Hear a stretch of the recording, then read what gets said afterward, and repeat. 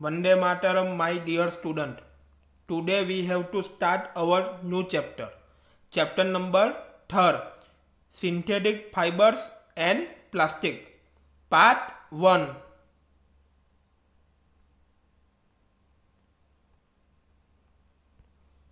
the cloth which we wear are made of fabrics हम जो कपड़े पहनते हैं वो किसमें से बनते हैं? फैब्रिक्स में से बनते हैं। Fabrics are made from fibres obtain from natural और आर्टिफिशियल सोर्सेस। फैब्रिक्स जो है, वो किसमें से बनते हैं?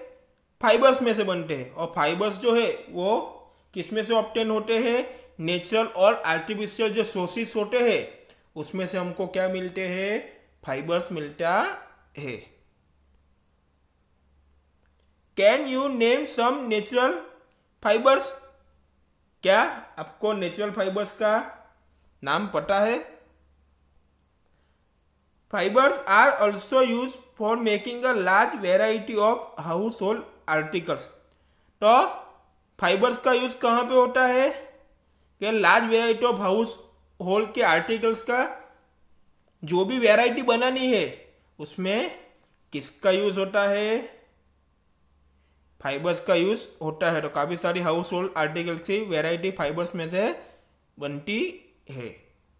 Make a list of some common articles made from fibres तो आपको जो कॉमन आर्टिकल्स है, वो फाइबर्स में से बनते हैं। उसका आपको क्या करना है? लिस्ट बनाना है। Try to separate them into those made from natural fibers and those made from artificial fibers. तो आपको जो भी नेचुरल फाइबर्स है एंड जो भी आर्टिफिशियल फाइबर्स है, उसको आपको क्या करना है? सेपरेट करना है, उसको अलग से ग्रुप बनाना है। Why did you label some fibres as artificial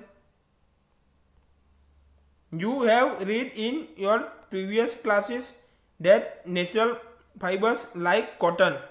तो आप सब लोगों ने प्रीवियस क्लासेस में क्लास सेवन में आपने पढ़ ही लिया है कि नेचुरल फाइबर्स कौन है? कॉटन है वूल है सिल्क है एक्सेट्रा तो नेचुरल फाइबर्स कौन सा कौन सा है? कॉटन है वूल है एंड सिल्क है। आर ऑप्टेन फ्रॉम प्लांट्स और एनिमल्स तो नेचुरल फाइबर से, वो किसमें से ऑप्टेन होते हैं? किसमें से मिलते हैं? प्लांट्स एंड एनिमल्स में से नेचुरल फाइबर्स मिलते हैं ऑप्टेन होते हैं।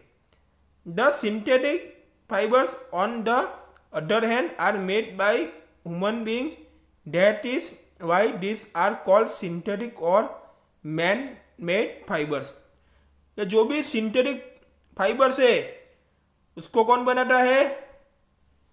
ह्यूमन लोग बनाते हैं। तो उसको क्या बोलते हैं? सिंथेटिक फाइबर्स भी बोलते हैं और मैन मेड फाइबर्स भी बोलते हैं। New topic what are synthetic fibres try to recall the uniform pattern found in a necklace of beads joined with the help of thread. Figure number 3.1a all the student look at the figure number 3.1a beads and तो beads का meaning होता है यहाँ पे necklace है तो उसका meaning होता है मन का तो ये इधर फिगर नंबर 3.1 में एक नेकलेस का कैसे पूरा अरेंजमेंट किया है? प्रॉपर तरीके से। मनका का कैसा प्रॉपर तरीके से अरेंजमेंट किया है? और फिगर नंबर 3.1 के ए में आपको दिखाया है।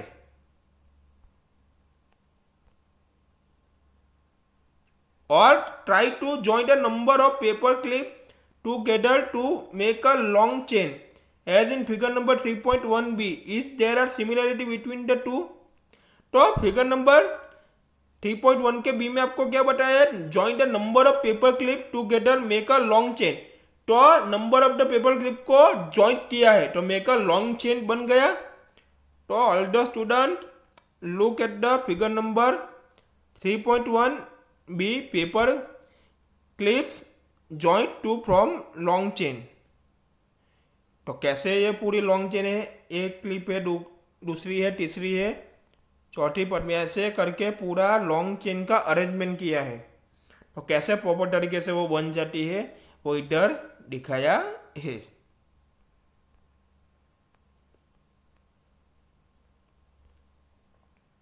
A synthetic prip is also a chain of small unit joined together. Synthetic fibre जो भी होते हैं वो chain small unit joined together होते हैं उसके वन ऑफ़ द चेन बनते हैं। और कैसे बनते हैं? स्मॉल यूनिट हो गए, ऐसे चेन पूरी बनते हैं। Each small unit is actually a chemical substance के जो भी स्मॉल यूनिट्स होते हैं, वो क्या होते हैं? केमिकल सब्सटेंस होते हैं। वो केमिकल पदार्थ होते हैं। Many such small unit combine to from a large single unit call a polymer तो पोलीमर किसको बोलते हैं?